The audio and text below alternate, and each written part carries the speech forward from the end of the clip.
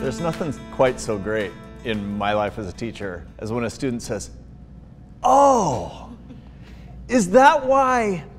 And and then the you know the train is out of the station. That's when it's just the best. Is when the kid sees the light in some tiny little insignificant way, but we get to be there to to, to witness it. What a moment! What a privilege. Some of those moments are small and some Yeah. are big, but they add up.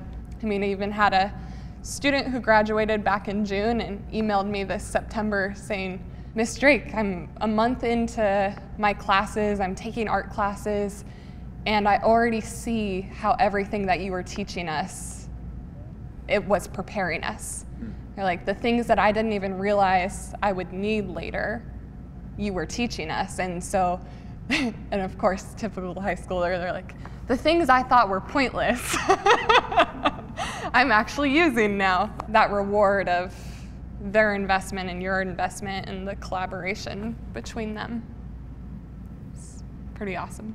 also to see them embrace that type of growth mindset. Um, I got an email from a student who had struggled in one of my classes, and one of the reasons why she was saying is that um, she just felt like she herself was putting this pressure on her that she always had to have the perfect essay and the perfect thing to turn in. And she was talking about how that perfectionism in her was a thing that was killing the joy of learning. And so she was talking about how she had grown over the year to realize that she can take a risk, she can be wrong, or feel like it's wrong, or maybe it's not the you know the exactly perfect thing that she wanted to turn in, and she can actually learn more from that. So she had said like I'm starting to discover some joy and it's because I'm taking a risk and because I'm starting to realize that my voice is something that needs to be heard and I'm going to speak out and anyway I thought that that was really an incredible lesson to learn. So, and I was like, that's something that I can learn as well, right? We can always learn from that. I think that's something that Bellevue Christian really offers to our students is the freedom, like we've already mentioned, of to figure out why we're learning these things Yes. and how to think rather than just the content.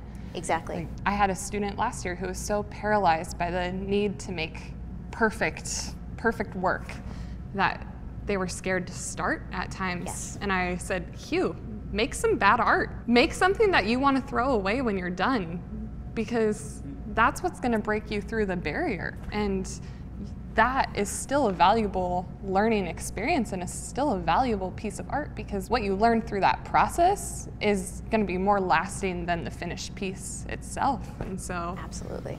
those moments of, yeah, make it messy. Yeah, exactly. Messy is good, right? Yeah. We, we can learn from messy. yeah.